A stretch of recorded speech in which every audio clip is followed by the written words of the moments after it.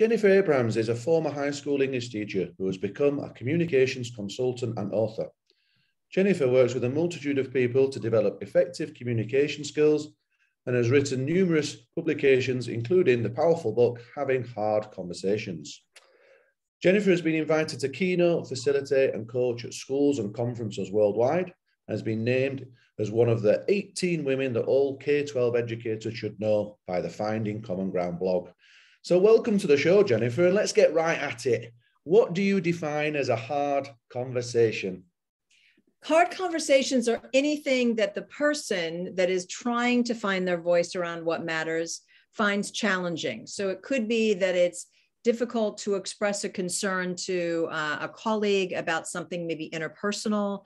It could be something that a supervisor is seeing in a classroom um, that is sort of a gap in somebody's uh, skill set, and they're trying to maybe give some feedback on that.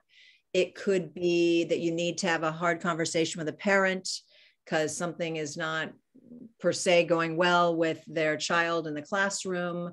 It could be hmm, talking to a whole team about something that the school is moving forward and it's not moving forward as well as they'd want. So it's something that's maybe uncomfortable to say, but somebody has got to speak up around what matters. And so that's why I thought the book would, would be helpful for a variety of people.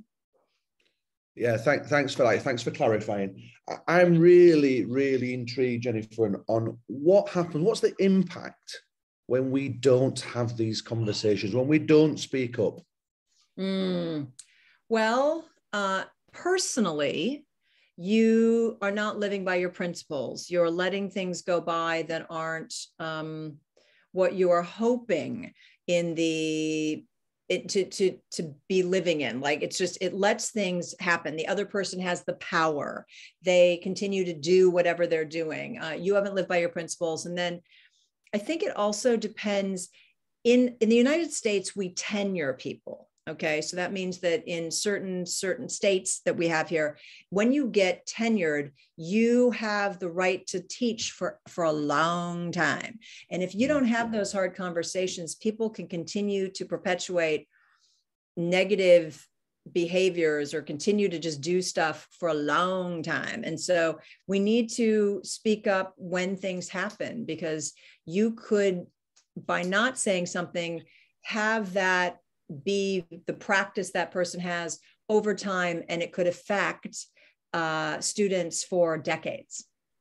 There's a, there's, a, there's a link there, isn't there, Jennifer, with sort of self worth of your own sort of boundaries or limitations or values.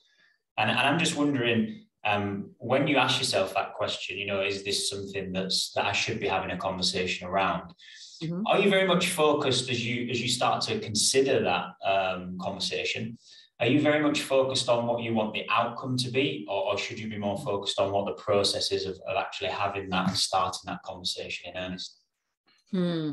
I would say in the work that I do, I sort of uh, have sort of some self talk in several ways. First off, do I want to have the conversation at all? And the, the question I, I, I say to the, at the very beginning is, was or is this educationally unsound?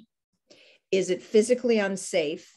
Or is it emotionally damaging to students or to staff? And that's that if I say, you know what, that it, it is, it's not following whatever we decided was the protocol for the way we're going to teach, or it's not safe for children, or it really doesn't allow a, a, psychologically safe environment and it was emotionally damaging, then I go, you know what? I think I might need to speak up. Then I ask other questions. What's um, when should I do it? Should I be the one who'll do it? What will happen if it's it it goes poorly? Um, is this really just something that I have a pet peeve about, or is this really a challenge? And there are many questions I ask that are sort of like speed bumps that stop me from just you know exploding. But then I ask the question, two questions. If I say something, can I say it in a professional way? And then what's my action plan for that? So if the person says, Well, what do you want me to do about it? Do I know that? And so in the workshops that I do, I kind of guide people through exercises that move them on this path. So when you said, should it be about the outcome or should it be about the process? I wish I could tell you, I would say the answer is yes. You know what I mean? like, what do we want to see instead of what we're seeing? What's the different outcome that we'd like to see? Absolutely. But then, what's the process of them getting there? And what are you going to tell them? And that's a whole other question. So yeah, there's there's yeah. a lot to it. We mm-hmm. don't give this enough time. Yeah. You know, people like just tell me tell me what to say, and I'm like, let's back up. now let's back up. What's the real problem? Have you thought about it professionally? Is it attached to professional standards? And they're like, oh. And then they get mm. angry at me. This is a lot of me having to do a lot of planning when they change. And I said, yes. And then I just sort of leave it there, right? You know, it, yeah, they yeah. You know, they should change, but you better say something in a humane way so that they get it and then they can change. So, so it's having an outcome maybe in mind, but really, really respecting the process as you go along. And and, and one of the, I really liked that idea there that you asked yourself three questions about: is it in a in an education context? Is it educationally unsound? Is it physically unsafe, or is it emotionally damaging? Are there almost sort of your qualification questions then? Before yeah. you sort of drive your car down the street and you hit the speed bumps. Tell us a little bit more about the speed bumps, the ways that you sort of check in uh-huh. with yourself. So if if you've decided that it really doesn't match up, like it's really emotionally damaging, it's causing uh, tension in a team, or it's really we just you know you're supposed to teach two plus two is four and somebody's teaching two plus two is nine now we have to have a conversation so then that's like stop sign great now we're moving forward so, if we're going to move forward in chapter three of one of my books on having hard conversations, I say, here are some questions you need to consider. And I, I, I got all these questions from people like you, teachers all over the world, and I placed them into subcategories of factors to consider before you speak up. And one is timing, one is the stakes if you don't speak up, one is um, personal association. One is doability. Like is what you're going to ultimately ask the other person doable? Um, and i think i have seven categories and if i turn around i could i could go grab the book. But it's there's not there's no chronology. Like you think about the timing first and then you think about this. It's just all of these things and I don't know who you are. So if Lewis, let's say Lewis is one of those ready fire people, let's slow down a minute. Let's think about the timing of this. Maybe you don't want to say it right now. But if Alan is like, I already think about the timing, I need to think about the stakes or the doability. So I have, I ask people to kind of assess themselves and stop themselves with speed bumps because chances are they haven't done enough thinking. They just know this is a problem and they should say something but now i kind of complexify that and i say well let's let's think about that. But the two questions i mentioned to you guys before do i know what the problem is? Can i say it in a humane way? And then do i have an action plan thought out? Because if the person says okay fair enough what do you want me to do instead? Hmm. and i go i have no idea. You just shouldn't do what you've been doing that ends up not being Of course. And you know what? You know what? This is one of those moments, now that I laugh, where my research pays off a little bit here because I've got your seven steps written down. I'm going to read them out. And, and I understand now that this is non-linear. It isn't a case of maybe going through these one by one and spending the same amount of time on each. It's actually choosing the ones that you feel you need to think about a little bit more. Um, and and I'll, reel, I'll reel them off quite quickly. What would be quite um, beneficial here, I think, Jennifer, is maybe just picking up on one or two and, and, giving us some examples of the things to consider. So we've got timing, as you mentioned. What's at stake is another step, isn't it? Another mm-hmm. speed bump. Um, what are the chances of success? Which I think is a brilliant one and probably stops the vast majority of us from ever having a difficult conversation. Um, what are the options that you've got? And you just talked about that with do you have a sort of action plan or, or some sort of solution focus? Mm-hmm. Um, the sort of chances of failure, what if I fail, which is probably another massive barrier um, for us to have those conversations. The personal perspectives on it, you know, what does the other person, what's their lens on this, and how do they see it? And that'll be formed in a, a myriad of different ways, won't it? And then the doability. Um, yeah. Is it actually something that you can do? Yeah, I the option one was interesting for me in that is is this better heard from somebody else in the sense of should it be me that actually has this conversation? And for some of the and for many of the things the answer is yes. And people want to go no no no maybe it shouldn't be me. I'll just i'll tell the principal to have this conversation. But i often wonder uh, in an option of like is there somebody better that might be able to do it? So giving an example. Um, a department head um, a male uh, was had a new female teacher and we didn't have a dress code let's just say for the for the faculty.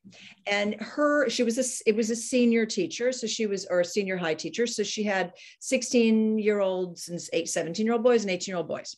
And it was uh, uh, her, her dress code was a bit you know distracting shall we say to, to the boys. Uh-huh. um, and um, had the male department head gone and spoken to her about her cleavage showing, it might have been taken as a sexual harassment, blah, blah, blah. So he, yet it's still distracting to the boys. And do we want to focus on the, the teaching of English literature or the outfit of the teacher? Okay. So he came to me and he said, This is not my hard conversation to have. It's your conversation. You are a coach and you are a female and we don't have a dress code. So there isn't per se anything in the professional behaviors and standards that she has violated. And yet there's a perception that it, it's getting in the way of her being effective, right? So maybe it's your turn so that option was is am i really the right person to do it? And so i i had the conversation. And i'll be darned she's not working for our school district anymore but she's still an english teacher you know so she's still teaching but boy would that have not been the right call for him to do it. So that's just like who should be having this conversation and could be could be influential? Just giving you an example. And yeah, that would that would come under that sort of options area right? Yeah, to me, who's the better person yeah. to to do this? Um, is this something? And then I also have in that section, and I just do it just to be provocative. Is this better done in person, face to face, or could you send an email about this? And we know the answer to that one, don't we? no, the answer is don't send an email, right? But I wanted to pose that um, and I also might want to say, is this something that should be shared with everybody? Or is this something that you should be doing with that one person? Because I know people um, throw out like one of those, you know how like you go to the front office and in your little cubby or your where you have your like your your mail they I, I remember getting like just a reminder about blah blah blah and you're like who's this really about? Is this reminder for all of us? Or was it somebody who was a wimp and didn't have the hard conversation with the person they should have had? and now all of us get this in in our main in our box. And I'm like, I'm like, oh my gosh. You know, so there are questions about like, is this really an, a one-on-one thing? Should this be an overarching thing? You know, there are lots of questions to ask yourself before you have a hard conversation. It's it um, comes back to what Lewis says as well though, about that nothing's linear here. It's very, very oh. contextual. It's and it's very contextual, it's very specific, and there is a linear way, at least in the work I do, that says everybody should think about the questions. Everybody yeah. should think about the outcome map. Everybody should think about a script. So there are like parts that Lewis and Alan and Jennifer need to do, and then it it diverges from there. Could you tell us what your views are on on on trust then and relationships around this? Is is it better? I've had this conversation before, Anna Lewis, with a guest previously. Is it better to have a hard conversation where you've built up a very good professional relationship and you've got trust, or is it better where you maybe you haven't got that because you might find it a bit easier? I don't know. What, what's your views yeah, on that? I it I think it's certainly better if if we have built trust, we have a professional understanding of how we should all sort of be together, um, and we're going to talk to each other, and this is this is how we roll. But along with that trust, I also say, and it's not in the first book, and I've been really thinking about this so it, regardless of trust, is there a clarifying sense of what we're all supposed to be doing? Have you had the clarifying conversation? Is this what is expected? And that's the stuff that you have trust, you don't have trust. That's fine. So, for example, I'm just giving, I was just on a plane. Okay. So I was on a plane coming back from Atlanta, Georgia. If the two pilots have the co-pilot and the, the, the first first what our first officer have worked together fantastic right? But if they haven't there still is an expectation of how people are supposed to be. That's the, because it's already been set. This is the protocol. This is how i am in this that's the kind of stuff that i wonder if that's happened enough okay? So let me give you an example. Um, this this happened in one of the schools that i was working with they are supposed to be working within a school that has a quote culture of excellence. So now we're going to have hard conversations with people who are not stepping up and living at the level of excellence. Now, if I said that to you, Lewis, and I hold I hold you accountable to that, what might be your question to me? Well, what does excellence look like? Yeah. And if you haven't Right. But if you haven't ever clarified that, you cannot have a really legitimate hard conversation about that. And that happens all the time. It happens that somebody three years ago had a conversation, and now 50% of the faculty has changed and they have no idea what you're talking about. There are people who who assume that the concept of professionalism is clear with everybody and then they're angry about specific stuff and you're like well i didn't think about that. So if you haven't had a clarifying conversation or things have not been set that to me is harder. So it'd be great if there was trust in a personal relationship but what it would really help is if i actually had a clue about what I was supposed to do. And then you can hold me accountable to it. Yeah. So I say you have to have a clarifying conversation before you have a hard conversation.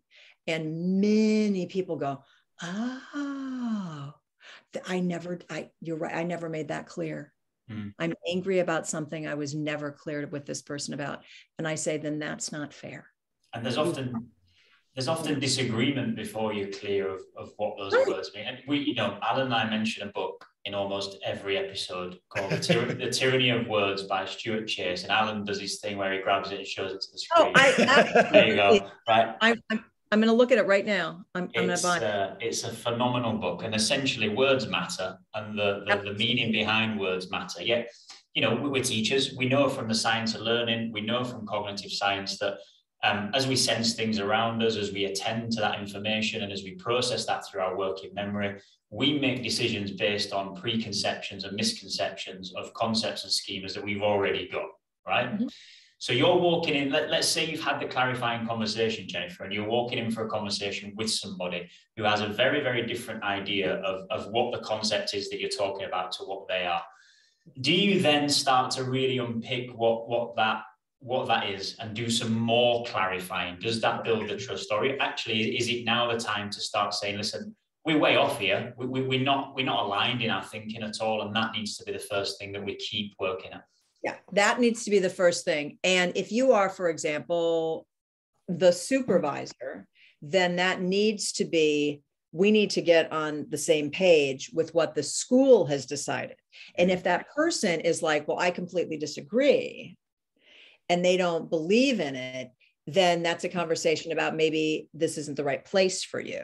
Mm. But this is how we're supposed to roll. Do you see what I'm saying? Yeah. If it's two of you and you are talking about what collaboration should look like, and um, this is you know and it's and you're both of the same level right and you're just in teams then we have to have some deeper conversations about how what would be helpful to me and what would be helpful to you and maybe i'll meet some of those needs in collaboration maybe i won't but to me there there should have already been an understanding of how we're supposed to collaborate together right. it's um i think a lot about I, there's a quote that i have in one of my books the what is it? Almost all conflict is the result of violated expectations.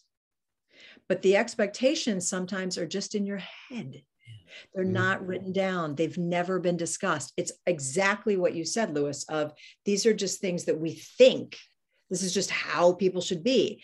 And when you're in an international school, as you are, um, and you've and you went to um, secondary school in in the UK and so you have an idea of how kids or teachers are supposed to be, how students are supposed to be, what curriculum is supposed to be. And then an American, a US citizen like me, comes in, totally different upbringing, completely different idea of how we should be teaching. We're going to clash until we have the conversation, or the school says, nope, nope, we're doing it this way.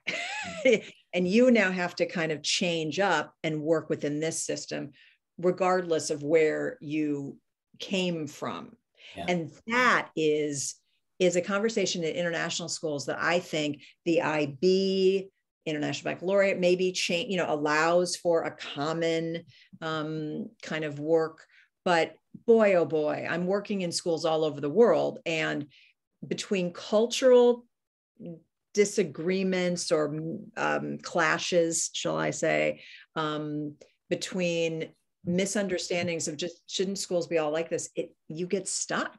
And so, should it be a hard conversation at that point that you're frustrated and angry, or should you just back up the truck, beep, beep, beep, beep, and go, let's just go back. Let's go back. Maybe we have misunderstandings here. Yeah. And I'm frustrated, but I was never clear. And, and yeah. you, you made a really interesting point there uh, uh, just a little bit earlier on. You brought in that sort of third person into this conversation, which is the school. What, does, yes. what, does, what does the school want? Now, as soon as that happens, I imagine that the, the conversation becomes much less personal, much yes. much less sort of uh, A type. I know from some of the work that you do, the A type and the C type conversations. Can you tell yes. us a little bit about that and what that why why that's so important? Um, I'm so impressed that you've read and know about this. And so I'm like, not everybody that I talk to has studied any of this. Cognitive conflict is where I think we should be trying to go. And I talk about that is that it's intellectual friction, it's cognitive discussion where we might have disagreements and tension, but we're not personalizing it. I'm not saying, and I'm noticing that both of you gentlemen have beards, and I'm going to go, well, men with beards, you know, and I make it affective like conflict where I I'm angry at you and I personalize it. And you know, well, people, all people from the UK, you know, and and it has nothing to do with where you're from or how you look or but people make it that way sometimes when they just when they just want to dig at you. They just want to make you feel uncomfortable because they don't have a cognitive, intellectual argument. And I think that that we make fun. We oh those whiny elementary school teachers or those those totally emotional English teachers or whatever and you start to judge the person as opposed to having the conversation. And that happens too often. And for me, there was a president of my country prior to this one who did that who did that. And so i don't want people to do that. It was painful. It was painful and people need to just sort of have a much more intellectual conversation. And that's where that's where i'm hoping we can go let's fast forward. You, have gone through all these speed books. You've, you've looked at your seven areas. You've, you've, mm-hmm. you've thought about them and you're thinking, yes, I still want to have this conversation. Can you Good. tell us a little bit about the responses that you might get? And I know this is a big part of your workshops as well, but what, what are the responses that you might get? Do you plan for specific responses? Do you do you give yeah. that your, your bandwidth? I think first, okay, so first off, I say, let's not worry about what the other person's going to say yet. But I do in the second book, Hard Conversations Unpacked. What if they say this? What if they say that?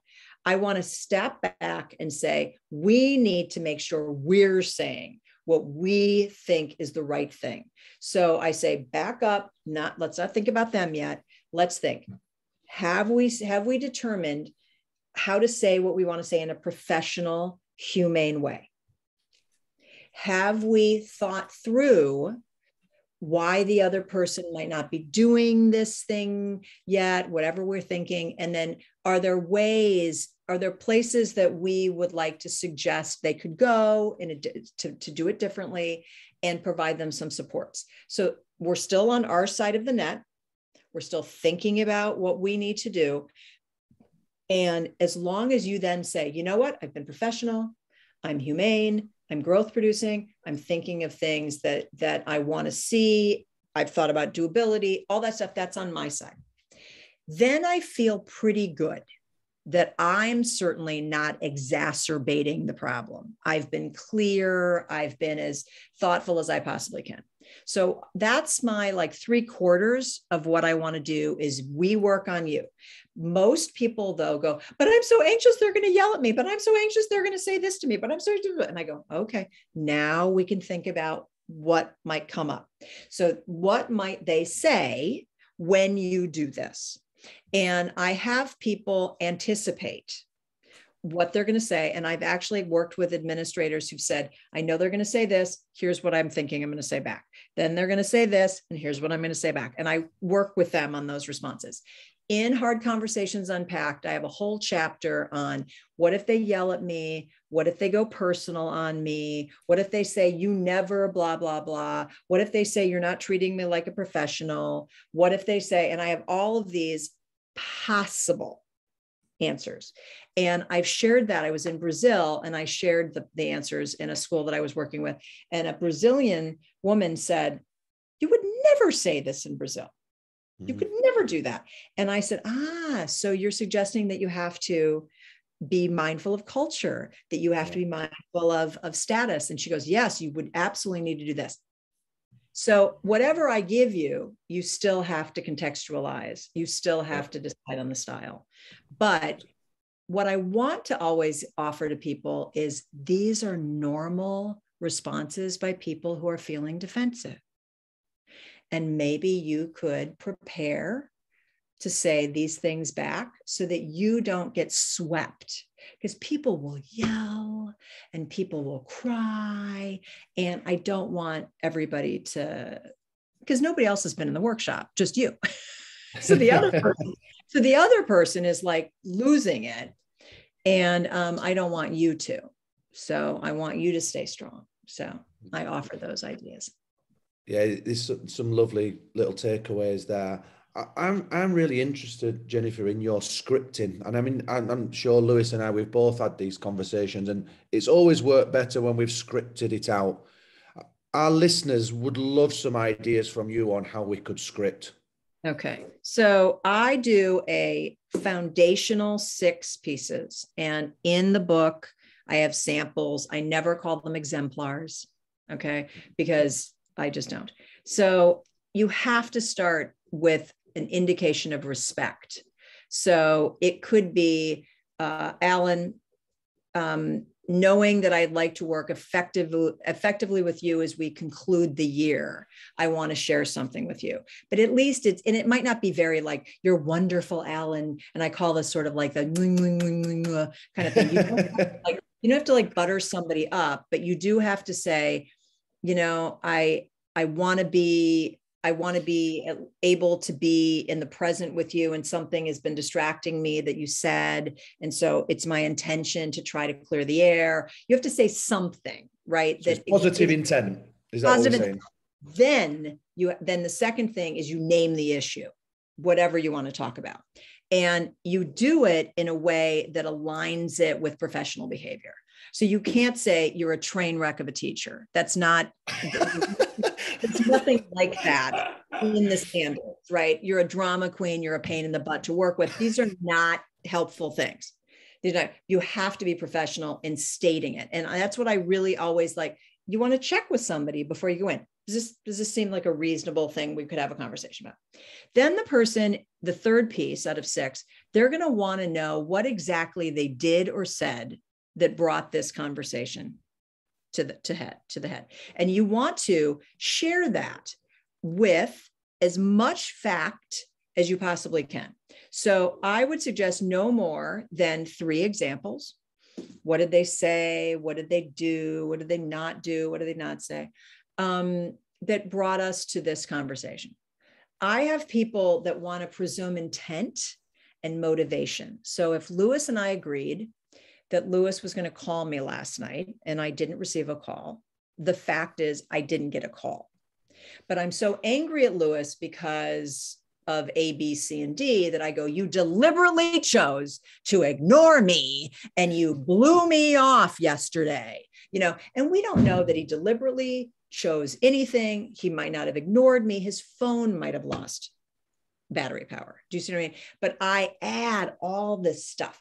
That's not fair. I want you to stay as clean and as crisp as you possibly can. And I would choose no more than three Okay. I have people that say, but I've been collecting data on this person since last September and I have like nine things I'm really angry about.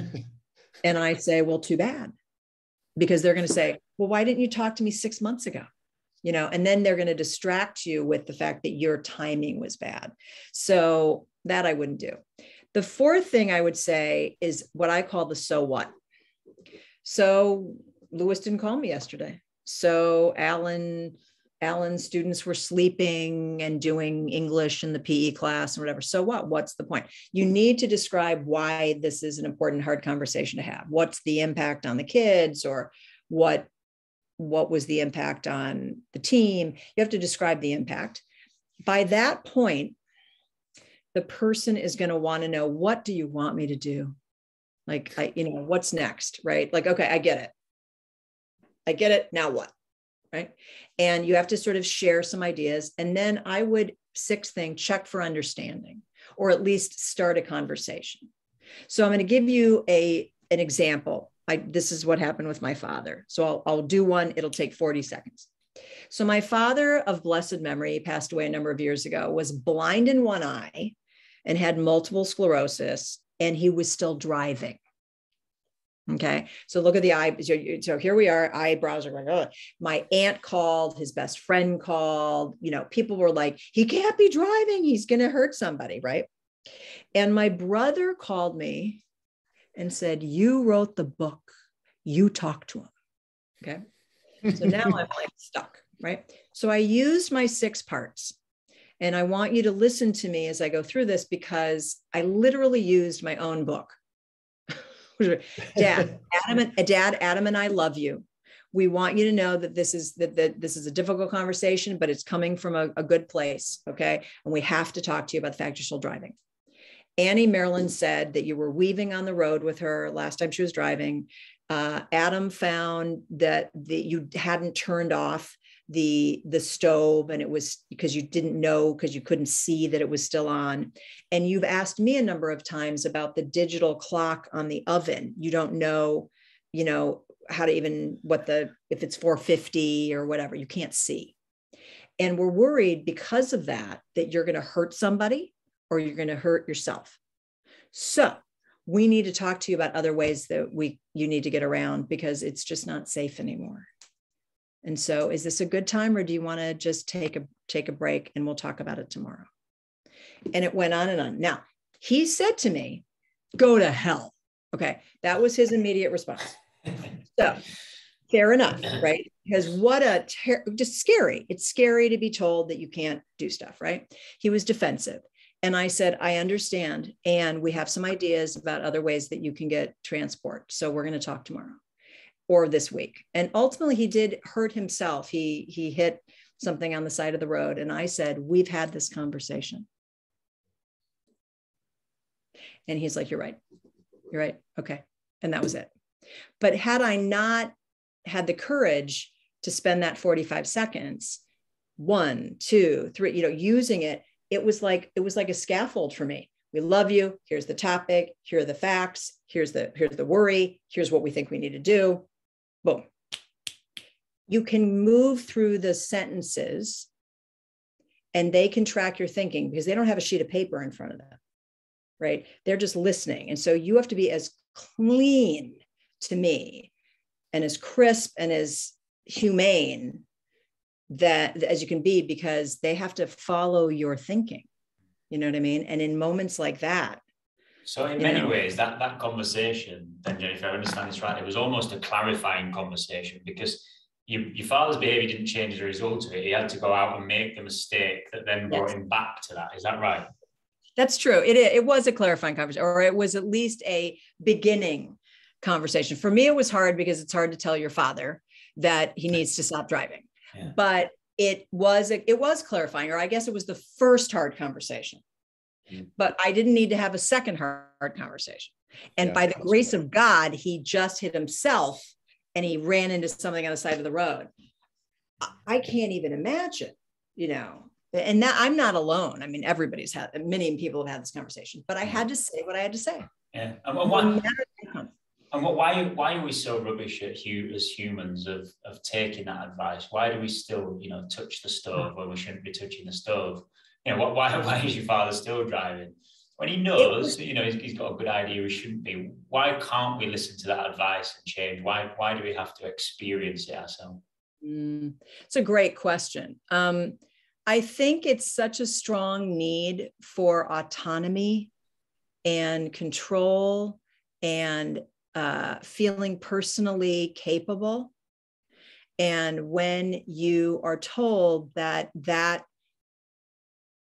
is going to be taken away from you, you've lost your resourcefulness. You've lost your ability to be to be seen as an adult that is capable in life. And so it's a very devastating thing. I mean, if mm. somebody said to me, I mean, I have a dear friend who just had a car accident just last week, and he now needs physical therapy, he needs occupational therapy. He, the car was crushed.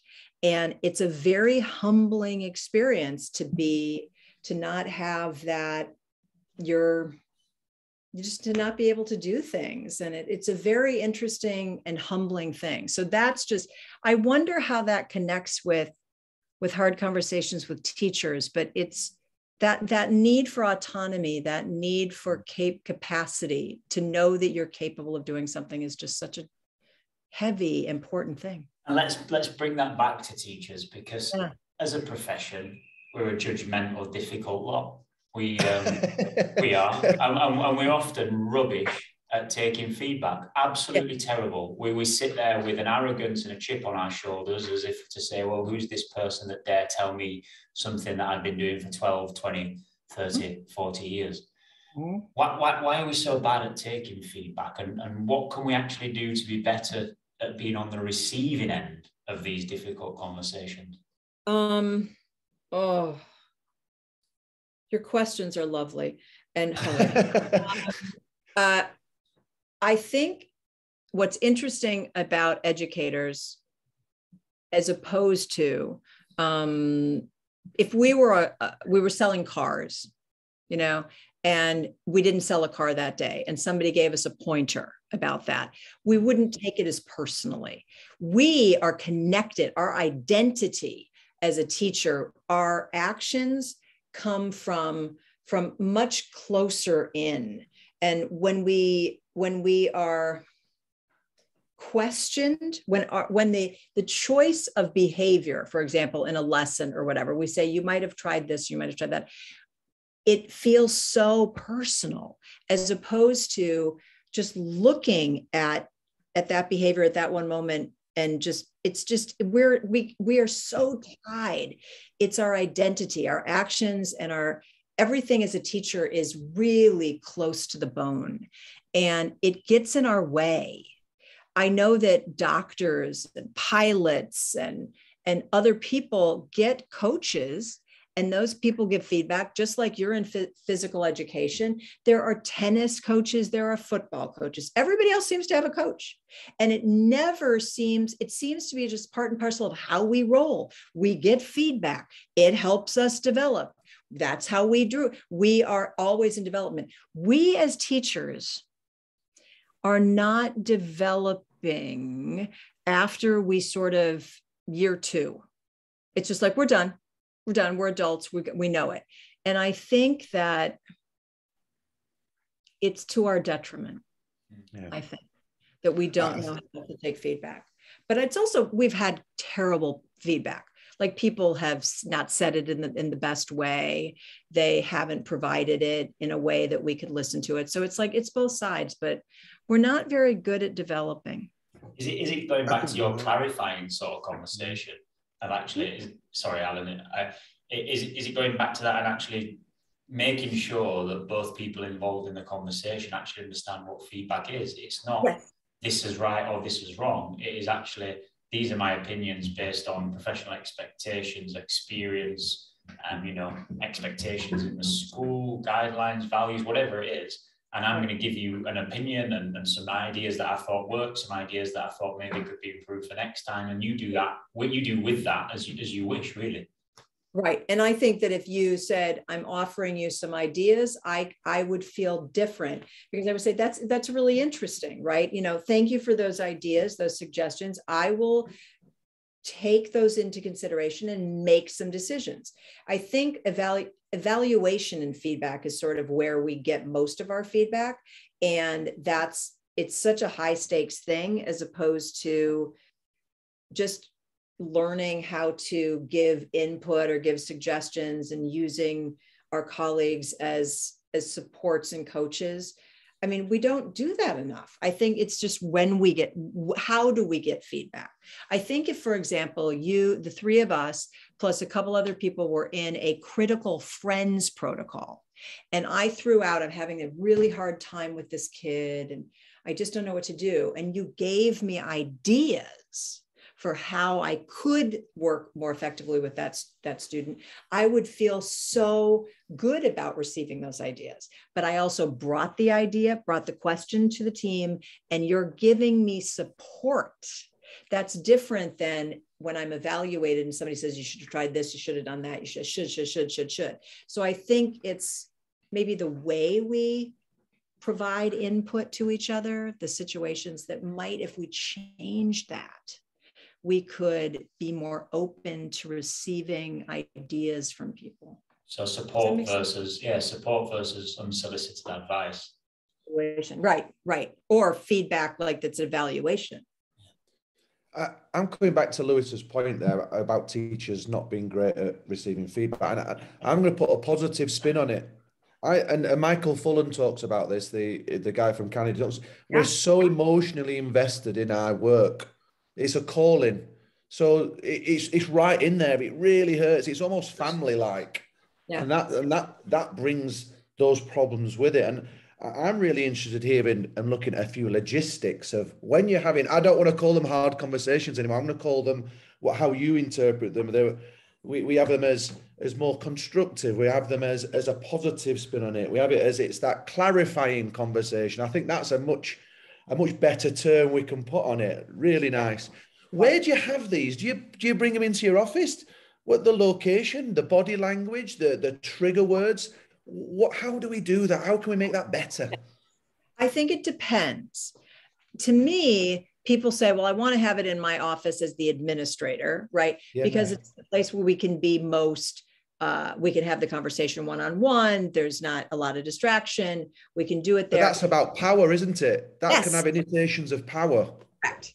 So, especially, eh, absolutely. And I have a, I remember a guy, I can't even remember his name anymore. He was in a video that I did where he said, I want to use the power. Like, I think that mm. there are hard conversations that require that power. So, I'm yeah. going to use, he called it the big desk right?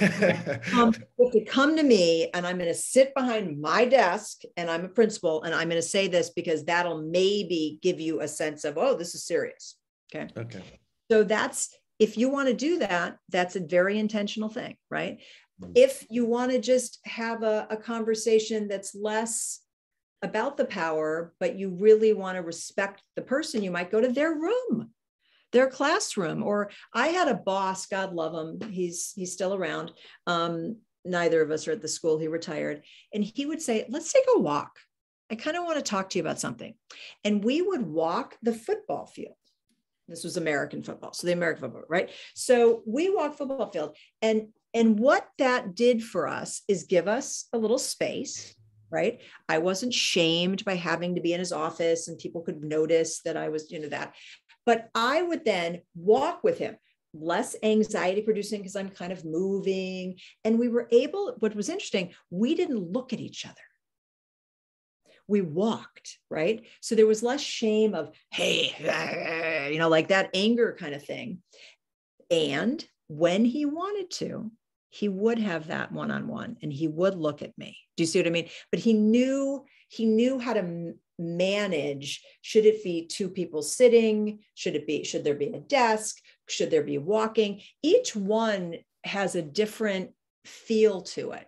I do know in terms of body language that I learned from my colleague Michael Grinder, what a wonderful colleague who does some nonverbal stuff, that if you really mean something, you put your palms down. You don't put your palms out, but you put your palms out like that wasn't okay this isn't acceptable. See what I mean? Your palms are down. And so when you think about classroom management, the same thing is like, come on, guys, everybody needs to have a seat. We need to sit down now. You don't go, mm-hmm. can you have a seat, please? Is that okay? you know, so your so your body language, and I've taught people are like, this is so important to me. It's really important. And I'm like, oh my gosh, you look like a wimp. Do not do that. You have to sit up and you have to go that wasn't okay. That was really not acceptable. You know what i mean? But you don't have to go like this but there are just certain pieces that sort of help and one of them is is palms down. Like yeah. that's you know or or you know like this.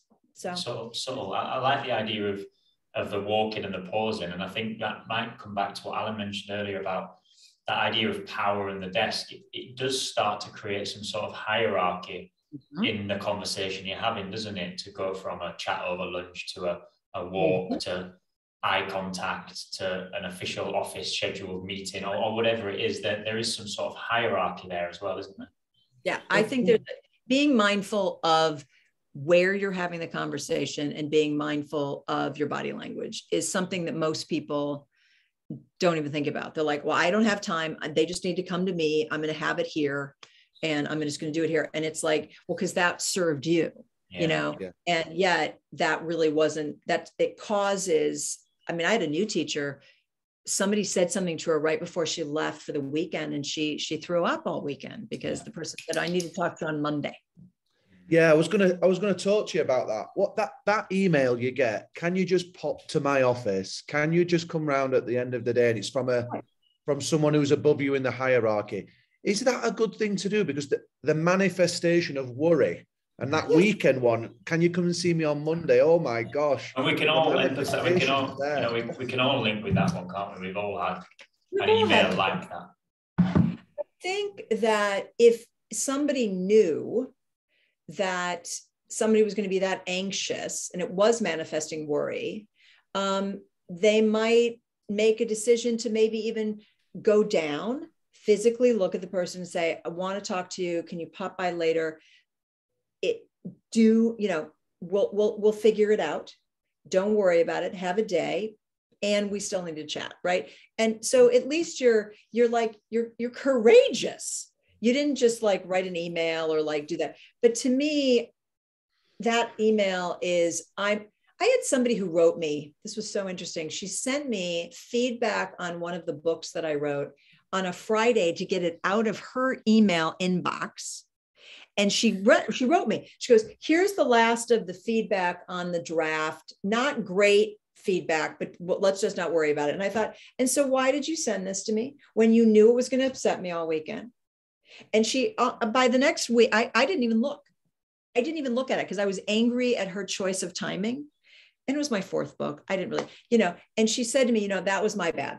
I really should have in I wanted to get it out of my inbox. So I chose to put it in your box just to make you know and, and you're right that probably wasn't very kind no yeah. and that's where emails become poisonous isn't it because you can you can so often and again it's something we've all done and we've learned from it is is get your thoughts down and you and it's literally right that's now emptied. It's a it's a right. box checked. It's a job done. I've sent that. Now i don't have to worry about it. And you're not actually taking the time to to think really? of any empathy of how that's received.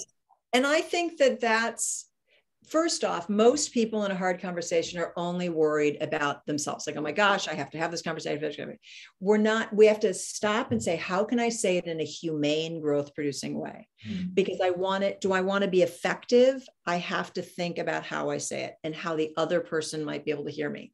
So it's, that's a step that some people haven't, they just want to say it. They're angry, they just want to say it, or it has to get off, you know, they have to do it. And it's, um, it's not use it's not effective no. you have I, to I imagine going back to Alan's power comment, there'll be there'll be some people who will sit there and say, "No, I deliberately send that email because I want that person to be thinking about it for a few days, and I want them to worry a little bit because I want them to come in and and have, have come in and reflected and thought about maybe why I'm having this conversation with them because mm. I suppose then that does part of the job for them, doesn't it? I I guess so. To me, it feels more manipulative than than helpful. Yeah.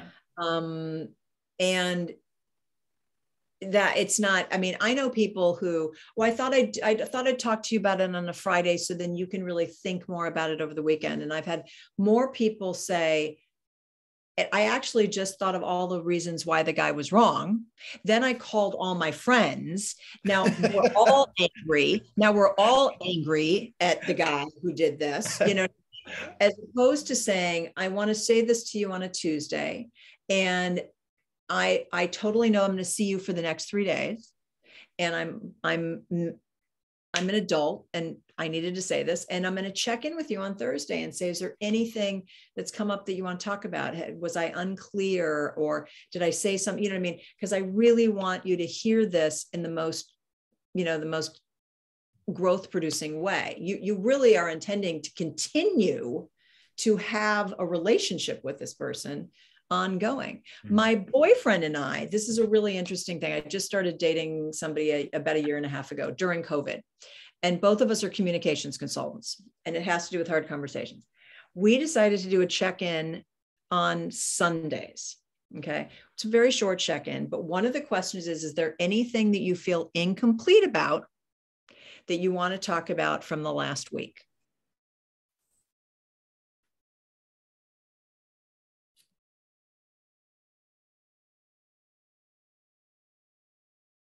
like you always know that you have a place to say something if somebody hurt your feelings or if something wasn't good for the last week.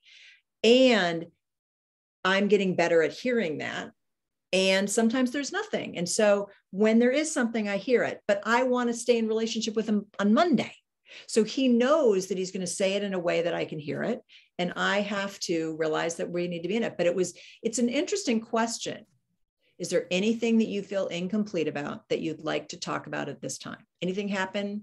And I wonder if we did that in, in um, team meetings or whatever, where we gave people a chance to do that, if we would maybe get some people who would be able to be courageous enough to say something as opposed to going into the parking lot and gossiping or going into the pub and whining about whinging about it and whining about it.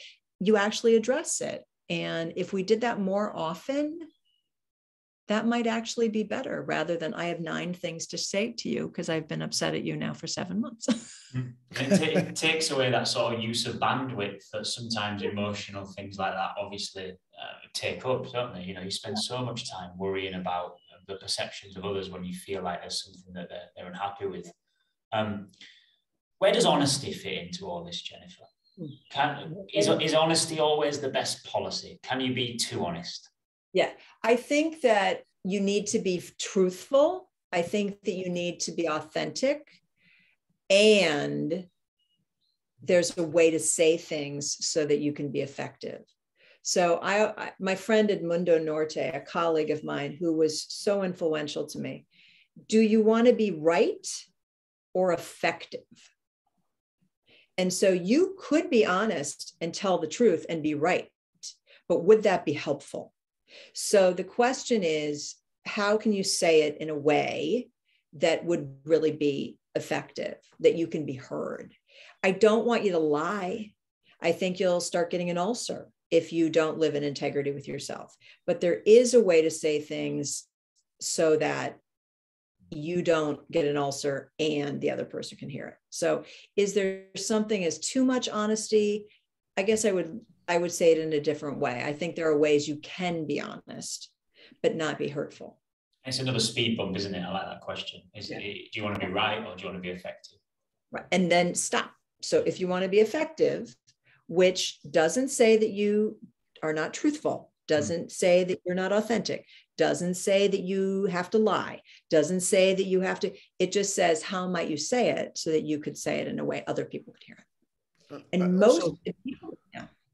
I think linked into that, uh, I we've talked about this again previously on on different guests. Is do we have to win every time? Do we have to actually win as a as a leader, or do you just sometimes have to say, look, this is not the time really. I'm gonna just gonna take, as you've talked about, a step back, and maybe mm. the winning is not everything. It's just an honourable draw sometimes, or you might even lose.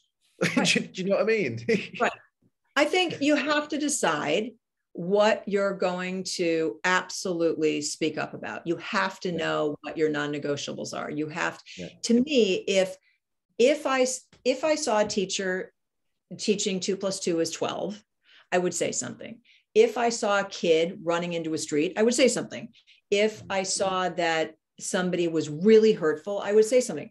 If it didn't you know, if it wasn't the exact right style of teaching that I loved, but it was not terrible. Do you really need to go there? If somebody really wasn't harmed by something, even though you said something socially awkward, but it wasn't too painful, do you really need to say something? Um, you have to decide what's worth kind of saying something around. And I've had in the last number of weeks um, interactions with people where people were incensed about things. And I apologized. And somebody goes, Well, that was very nice of you. And I said, what you know whatever like do i want to be right or effective? Did i need to apologize? Not really. W- would it be useful so the other person and i have a better relationship? Absolutely. So I'll let. I, that that's me getting older too yeah. i was yeah. not like that 20 years ago. But, but also there's there's a distinct sort of pop, popping your ego down there isn't there? And, and just stepping away from it. And it brings us right back round to those three things that you use right at the beginning of our conversation about a qualify a qualification criteria. Is this conversation worth having if it's educationally unsound, physically unsafe, or emotionally damaging? Then it is. And I think that qualifying criteria is going to be picking up on some of the, the, the things you talked about, very contextualized as well for each person, isn't it? Yeah, absolutely. And and what your values are and did somebody step over and if that was something that you cannot stand you need to speak up. And you have to speak up in a way that somebody can hear that you were extremely offended or that that was very hurtful to you. And and and now what should they do differently? And I, you cannot say well you're an adult do it. You know just learn for yourself. You know that ends up being sort of immature too. You have to be in a we're in the education. We need to do this in a forward thinking growth producing way so. Yeah very good. We, we're going to wind it down now jennifer and we, we like to have a little bit of fun to oh, finish up on. Um, our favorite one jennifer three three leaders dead or alive from from from the past from the present who you would love to, uh, to spend an evening with and have a good chat I think both the Roosevelts, uh, the president, Franklin Delano, and his wife, Eleanor. And just recently, I've been thinking about Golda Meir. I'm just thinking of some really strong women um, that I would love to, to meet. Um, and I'm sure That's that great. there are others, but that sounds good.